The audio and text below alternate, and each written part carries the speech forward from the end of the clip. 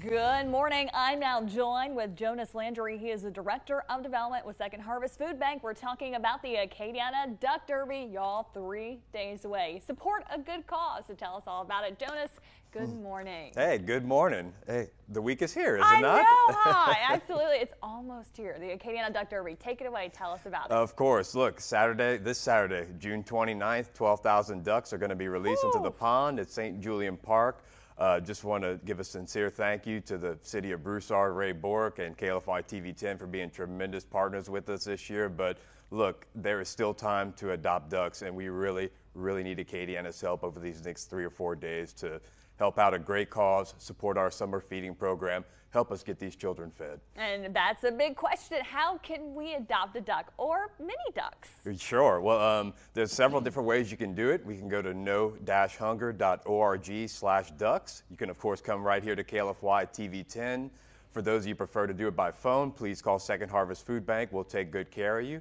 Um, again, we have a lot of different ways you can adopt a duck. You can adopt a one duck. You can get a quack pack where you get extra ducks, and the more uh, you, the more money you donate, the more chances you'll get to adopt a duck and win great prizes. And speaking of those prizes, you want to take it away by Uh, telling I guess I have to, of course. Yeah. Uh, well, our uh, grand prize is a $5,000 grand prize to one lucky duck. But again, we got 20 chances to win this year. We got great stuff uh, like Raising Cane's for a year, dance and yoga lessons at Jeremy Academy. We just got this one yesterday, uh, BJ's uh, restaurant. Two Pizookies a day for an entire year that they're donating, uh, you know, for this. So Oh, I just got goosebumps. if you like dessert, that's a good one. But look, we got some Neat. sports memorabilia, gift cards, you know, all kinds of great things. But you know, most importantly, every single duck that's adopted this year is putting 15 meals right back into the Acadiana community. We really need your help. Wow. All right. Support a good cause, and you get a chance at winning some awesome prizes. Jonas, thanks for joining us this morning. No, pleasure as always. Thank you. Of course. All right. More information can be found there at that website